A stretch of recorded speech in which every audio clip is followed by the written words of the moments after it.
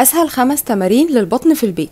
في الفيديو ده هشرح لك أسهل خمس تمارين بطن تقدري تعمليهم في البيت بسهولة. التمارين هتكون سهلة وبسيطة علشان المبتدئين وده بناء على طلباتكم في التعليقات. لكن علشان توصلي البطن flat بدون دهون فده مش هيحصل بالتمرين بس لازم حاجات تانية أهم بكتير من تمارين البطن. هشرحها لك في نهاية الفيديو فبلاش تهتمي بالكام تمرينة دول وتنسي الأهم من التمارين. يلا نبدأ نشوف الخمس تمارين وما تنسيش تعملي like على الفيديو ده ولو أول مرة تشوفي قناة Fitness Egypt اعملي اشتراك وفعلي الجرس. علشان يوصلك كل الفيديوهات الجديدة. التمرين الأول اسمه تمرين بيرد دوج. انزلي على ركبك ودراعاتك بحيث جسمك يكون شبه مستوي من فوق. وابدأي بحركة الدراع اليمين مع الرجل الشمال والدراع الشمال مع الرجل اليمين وهكذا بالتبادل. من مميزات التمرين ده إنه خفيف جدا ومناسب للمبتدئين وبعيد عن أي خطر للإصابة. لو كنت مبتدئة ومستصعبة التمرين هتقدري تقومي بيه بكل سهولة.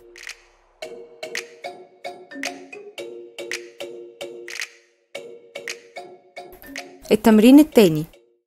تمرين اسمه ديد بج وده عكس التمرين اللي فات في الوضع لكن بنفس الحركة تقريبا. الفرق بسيط وهو بدل ما كنتي نازلة على ركبك هتنامي على ظهرك وجسمك مفرود وتبدأي الحركة رجل مع دراع بالتبادل زي ما انت شايفة. وبرضو التمرين ده حلو جدا للمبتدئين وبعيد عن خطر الإصابة.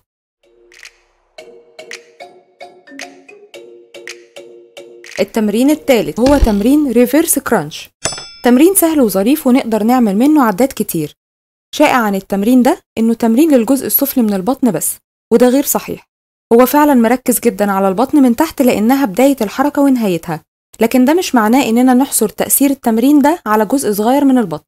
بالعكس التمرين ده بيشغل عضلات البطن بالكامل وكمان الأفخاذ تمرين حلو ومناسب لكل المستويات وتقدري تعمليه في البيت وفي أي مكان. في سؤال بيتكرر عن التمرين ده وهو الأفضل إيه أتني الركبتين ولا أفرد رجليا على استقامتها؟ الإجابة إن الاتنين من تمارين ال reverse crunch والاتنين بيشغلوا عضلات البطن كويس لكن التأثير الأقوى لما بنكون فاردين رجلينا.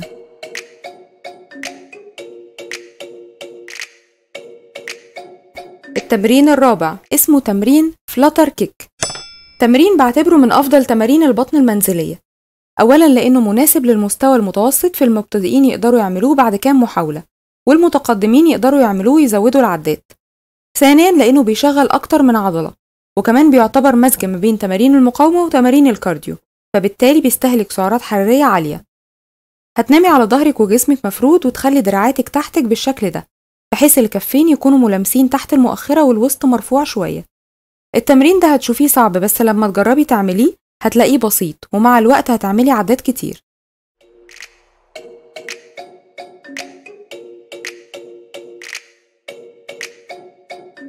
التمرين الخامس. وهو تمرين Arms High Partial Sit Up شبه الكرانش العادي بس بنتني رجلينا فبتدينا ثبات أكتر على الأرض. وبنرفع الدراعين بالشكل ده. وبنطلع لفوق بالصدر. ما تركزيش مع دراعاتك وخلي تركيزك دايما إن الصدر هو اللي بيطلع فبالتالي عضلات البطن بتنقبض. وننزل ببطء ونتحكم في نزول الظهر على الأرض. مش ننزل ننام ونريح العضلة. انزلي متحكمة في جسمك وما تسيبيش نفسك ترتاحي حسي بعضلات بطنك بتتعسر وانت بتتمرني. تعالي بقى أقولك على كام حاجة أهم كتير من تمارين البطن. لازم تنفذيها علشان بطنك تبقى فلات لأن التمارين مهما كانت قوتها فهي في النهاية بتنمي العضلة. فخدي الكام نصيحة دول وصدقيني هتشوفي تحول قوي جدا في شكل جسمك من أول شهر. أول حاجة بلاش تتعبي نفسك في التمارين بدون نظام غذائي لأنه هيبقى تضييع وقت ومجهود على الفاضي. فقبل ما تفكري في أداء التمارين صممي لنفسك وجبات مناسبة لهدفك. وأنا مسهلة لك الموضوع ده في رابط جديد هتلاقيه في أول تعليق تحت الفيديو. الرابط فيه جدول لسعرات الأكل تقدري تعرفي منه أنت أكلتي كام سعر حراري. وفي كمان آلة حاسبة بتحسب لك جسمك محتاج كام سعر حراري في اليوم. فادخلي احسبي سعرات جسمك وأكلك من أول رابط في التعليق. الحاجة التانية بلاش موضوع إنك تتمرني بطن وبس. مرني كل جسمك علشان ياخد شيب كويس وتقدري تعملي ده من خلال تاني رابط في أول تعليق تحت الفيديو. وفي نظام تنشيف دهون بتمارين ووجبات لمدة شهر كامل تقدري تطبقيه في البيت. الحاجة التالتة وهي إنك لازم تهتمي بجسمك من فوق ومن تحت. الموضوع مش عضلات بطن وبس. لا جسمك كله لما بيتشد وبيتفرد من فوق ويعمل curveات من تحت بيظهر الوسط أكتر وبيبين إن البطن نحيفة جدا. حالتك النفسية وممارستك للنشاط الرياضي دايما مرتبطين ببعض والاتنين بيأثروا على بعض سواء بالسلب أو بالإيجاب. فلو بتبتدي يومك بتمارينك الرياضية ده هيخلي جسم الإنسان بيفرز مادة اسمها سيروتونين ودي المادة المسؤولة عن السعادة بيحطوها في الأدوية المضادة للاكتئاب. فحاولي تخلي دايما بداية يومك هي النشاط الرياضي ولو مش متاح ليكي حاولي تصحي بدري عن شغلك أو دوامك وتمرني الموضوع هيفرق معاكي باقي اليوم. اولا تمارين ال cardio زي ما أنتم شايفين على الشاشة تمارين ال cardio دي مش محتاجة جيم ونقدر نعملها في البيت بمنتهى السهولة. ودي تمارين نقدر نتمرنها في البيت بشكل يومي لأنها مش بتحتاج مدة طويلة في مرحلة الاستشفاء. تمارين ال cardio ممكن نثبتها يوميا بشكل ثابت في يومنا لكن مهم جدا إننا نتمرن بشكل مخفف في البداية وحسب قدرتنا الشخصية. وفي نهاية جزء ال cardio أنصحك بس باختيار الأسهل ليكي واللي تقدري تستمري عليه مدة طويلة. وممكن التغيير عامة في تمارين ال cardio ولكن في النهاية هي ليها تأثير واحد وأهم هدف منها هو إنك تعلي من لياقتك البدنية وتستهلكي كتير من السعرات الحرارية. الجزء التاني هو تمارين المقاومة في البيت. وتقدري تطبقيها بمنتهى البساطة باستخدام أدوات بسيطة زي ال dumbbells أو البار لكن لو مش موجودين تقدري تستخدمي أزايز مية مليانة أو ممكن تمليها رمل أو أي مادة وزنها تقيل. وهتقدري برضو تطبقي تمارين المقاومة. تنبيه بسيط للناس المهتمة بس بتمارين ال cardio وبتتجاهل تمارين المقاومة. أهمية تمارين المقاومة مختلفة تماما عن أهمية تمارين ال cardio. فزي ما قلت في جزء ال cardio الهدف الأساسي من ال cardio هو استهلاك السعرات الحرارية ورفع اللياقة البدنية لكن في المجمل تمارين غير كافية لإعطاء الجسم الشكل المثالي ورسم الكيرفات ومنحنيات الجسم أما تمارين المقاومة فلا غنى عنها أبدا لأنها بتشد الجلد وبتقضي على السيلولايت وبتشد الترهلات وبتدي الجسم الرسمة أو ال shape اللي كلنا بنسعى ليه واللي بنسميها curve. وده عن طريق إننا بنلعب على عضلة معينة بأوزان بيحصل لها تفتيت ومن هنا بيبدأ الجسم في بناء الخلايا العضلية مرة تانية وبشكل أفضل. فيبان الجسم شكله منحوت زي ما بتشوفوه في الصور والفيديوهات. فالأفضل إن نجمع ما بين النوعين. نبدأ أولا بالاسترتشات ثم بدقايق من ال cardio قصيرة للإحماء ونتمرن مقاومة وبعد ما نخلص هنتمرن cardio بشكل مفتوح لحد ما تتعبي. مصطلح تمارين المقاومة ده مصطلح واسع. تمارين المقاومة مش معناها بس الحديد. لا أي تمرين هتلعبيه بيعمل مقاومة على العضلة هيبقى من تمارين المقاومة اللي هتحقق لك ال hypertrophy. فممكن تتمرني في البيت بوزن جسمك. تمارين زي ال push up والعقلة والمتوازي وال squat والبطن وإلى آخره من التمرينات اللي بوزن جسمك. ولو هتنزلي جيم فخلاص كده انت مش محتاجة أي حاجة غير إنك تمشي على نظام تمارين مناسب لجسمك ولحالتك الشخصية.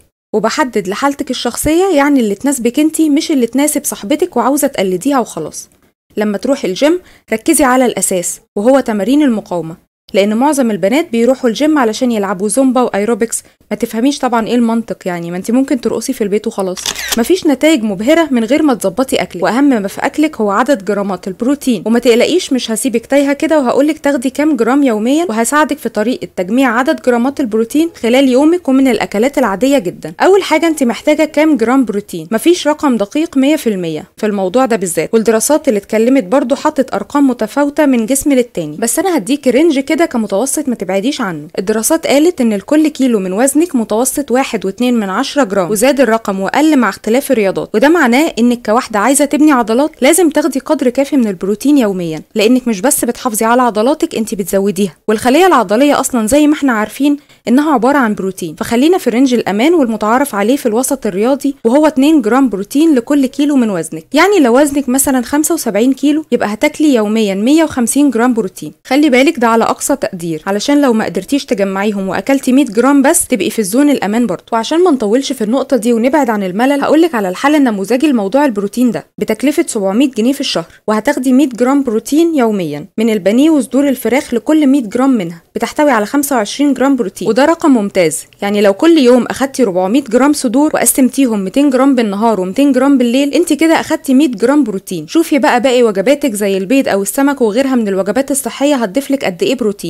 انت عمرك ما هتنتظمي 100% وكلنا كده من أول المحترفين للهواة. إحنا كلنا بشر مش آلات متحركة. فبالتأكيد هتكسلي يوم عن التمرين أو هتلخبطي في أكلك مرة وهيحصل لك ظرف. يخليكي ما تتمرنيش لمدة 3 4 أيام وده طبيعي. أنا بقى عايزاكي تقتنعي وتفهمي حاجة إن ده الطبيعي جدا. فما تجيش بعد قطع يومين أو لخبطة يوم في الأكل تقولي أنا خلاص لخبطت والدايت باظ وتكسلي نفسك. لا كلنا كده. وشاطرة مننا اللي لما تلخبط تكمل وتتمرن تاني مش تقف مكانها وترجع لنقطة الصفر. وفي النهاية مش هقولك غير ابدأي باللي تقدري تعمليه. مش لازم تبدأي بأداء التمارين كلها ومش لازم كل حاجة تبقى perfect في البداية ده طبيعي ولازم نغلط ونبوظ في البداية علشان نتعلم. ما تنسيش تعملي like على الفيديو واشتركي في القناة. وبصي على أول تعليق تحت الفيديو هيفيدك جدا. وما تنسيش تكتبي comment تحت الفيديو كمان واستنينا في الفيديو اللي جاي.